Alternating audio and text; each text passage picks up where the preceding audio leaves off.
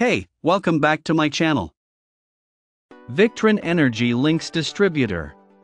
A modular DC bus bar, with locations for 4 DC fuses. It will monitor the status of each fuse, and indicate its condition with a LED on the front.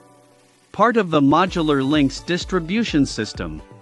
The Victron Lynx distributor contains a positive and negative bus bar and provides a connection for four individual DC equipment circuits, loads or DC groups. It has a space for individual DC fuses per DC group and there is an optional feature of an LED for each fuse to indicate if fuse is blown. It will monitor the status of each fuse and indicate its condition with a LED on the front. If you wish to use the fuse indication LEDs on the Lynx distributor, it also requires a connection to a Lynx shunt.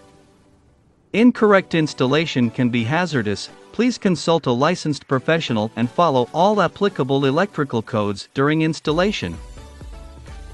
Check out the video description for updated price. Thank you for watching this video. Please subscribe and hit the like button.